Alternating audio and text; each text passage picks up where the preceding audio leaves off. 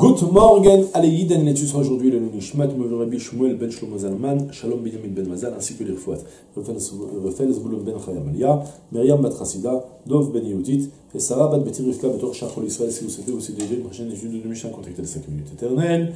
Et nous débutons aujourd'hui, Bezrat Hashem, le 11e Perek de Choulin, Perek Yud Aleph, Mishnah Aleph.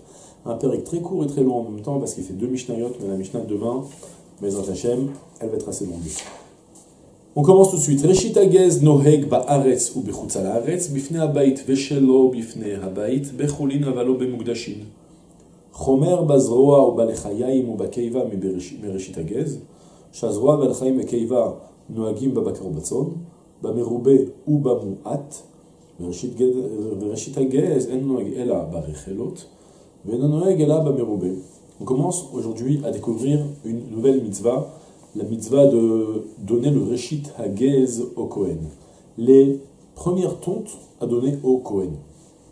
C'est-à-dire, lorsqu'on va, euh, lorsqu'on va, à chaque fois qu'on va aller tondre son troupeau, eh bien, de la tonte, il va falloir prélever une partie de la laine et la donner au Kohen. Et on va expliquer, dans la prochaine Mishnah, combien faut-il donner en proportion et tout ça. Pour le moment, on commence à comme toutes les mises qu'on a découvertes dans Choulin, le rapport avec Choulin est évident parce qu'en fait, on est en train de parler, lorsque tu vas égorger pour ta consommation profane, qu'est-ce que tu devras faire? Chaque chose, qu'est-ce que tu pourras manger Qu'est-ce que tu pourras manger? Vous avez remarqué que à chaque début de Pérec, on commence avec en rapportant la mitzvah et en disant celle-là, elle est, elle, est, euh, elle est en vigueur en Eretz Israël, en Salaretz, à toute époque, ou bien que à l'époque du Beth Chacun avec euh, ses règles et envers qui et tout ça.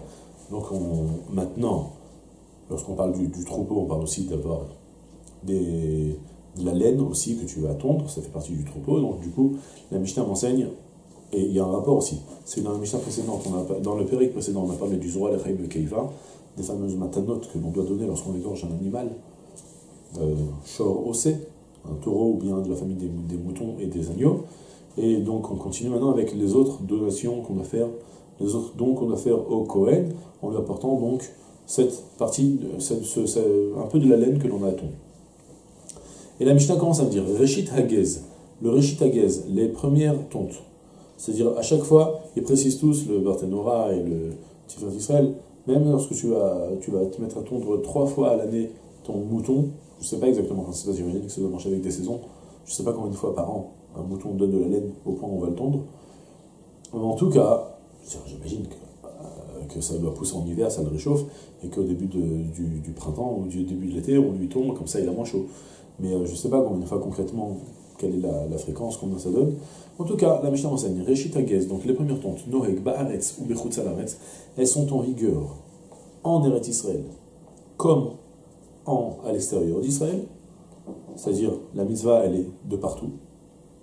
C'est pas une mitzvah qui est Tluya Baaretz, c'est pas une mitzvah qui dépend du sol d'Israël, non, ça concerne comme toutes les mitzvot en fait qui ne sont pas applicables au sol, donc c'est en vigueur dans, tous, les, tous les pays du monde. Bifne Abayit Vesho, Bifne Abayit, ça c'est en vigueur à l'époque du Beth Amikdash, devant le Beth Amikdash. Veshalo Bifne Abayit, et même aux époques après, quand il n'y a plus le Beth Amikdash, même à notre époque c'est en vigueur. Bachulin, Avallo, Bemugdashin. Dans les animaux qui sont profanes, et pas dans les, dans les animaux qui ont été sanctifiés, même si c'est une doucha qui appartient au Bedekabaït, par exemple, ça peut arriver à des situations où il y avait des moutons qui avaient des défauts. Si je les ai sanctifiés, ils appartiennent maintenant, ils viennent à la propriété du, du mais pas pour en faire des corbanotes, puisqu'ils ont des défauts. Donc, malgré tout, s'ils vont donner des moutons et que le Gizbar, le, le trésorier du Betamikdash, il les garde, donc il a envie de les tondre pour ensuite exploiter la laine et tout ça, il ne devra pas prélever de cette tonte pour en donner au Kohen. D'accord? Parce que ça a été le shit gez tsoncha de ton troupeau, tu devras en donner. Voilà pour la première partie de la Mishnah. Le Barthénois nous précise qu'en réalité, il y a une grande discussion. Est-ce que c'est en vigueur aussi, euh, est-ce que c'est en vigueur que en Eretz Israël ou même en Chutz Le Barthénois rapporte lui-même que ces rabbinim pensaient que c'est pas en vigueur en Chutz en diaspora, tandis que euh, d'autres, d'autres euh, ont discuté, ont contesté le psaque on dit que non, c'est aussi en vigueur même en Chotzaretz. Le Tifrat Israël rapporte que l'usage, Benagou bah, Chotzaretz, il rapporte Yurodea, Siman Shin Gimel. Apparemment, c'est dans le champ explicitement, qu'apparemment, on tend à dire que c'est pas en vigueur en Khosaretz, mais en Israël, c'est en vigueur. Je connais des gens qui l'ont fait. Euh, ensuite, on continue maintenant. Chomer bazroa ou vekeiva. Telle est la rigueur, la loi plus rigoureuse que l'on a vue dans le Zroa alechaim vekeiva, dans les dons qu'on doit faire, donc de donner le bras avec la mâchoire inférieure et avec l'estomac le, qu'il fallait donner au Kohen. Telles sont les halakhot sur lesquelles on est plus rigoureux, on impose plus sur les matanotes, mais Rishit Agez plus que le Rishit Agez. C'est-à-dire, on va comparer en fait dans quelle situation je te demande de donner les matanotes et dans quelle situation je te, donne, je te demande de donner le, les, premières tontes. Tu vas voir qu'on est beaucoup plus, on t'impose beaucoup plus de données dans les trois choses, dans les matanotes, dans le Zohar plus que dans le Rishit Agez. Pourquoi Babakar ou Batson, car les matanot, donc ça dit, le bras, les chayaim, la mâchoire, Ve'akeiva, l'estomac, Nohagim Babakar ou Batson, elles sont en vigueur qu'il s'agisse dans le gros bétail que dans le menu bétail, les bovins et les ovins. On avait dit Shor, Osé, C, ça implique dans la Torah, Shor d'abord c'est la famille des taureaux, C dans la Torah ça implique C, Ksavim, Vese, Izim, on, inclut dans le même mot C tous les ovins qui sont faits les chèvres et les moutons dans la même, dans la même lancée.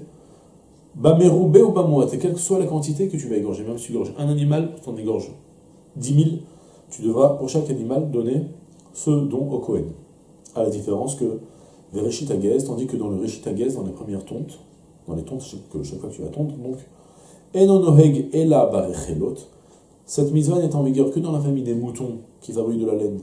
Et même si toutefois tu vas vouloir, tu imaginez qu'on tombe aussi les, euh, les, les, chèvres, par exemple, pour récupérer leur poils, pour en faire ce que vous voulez, et eh ben non, il n'y a pas de mise de Rishitagez en elle. Et donc, Venonoeg et la Barechelot, il n'est en vigueur que dans les Rechelot, dans la famille des moutons. Rechelot, même si c'est dit au féminin, ça implique en fait toute la famille des moutons.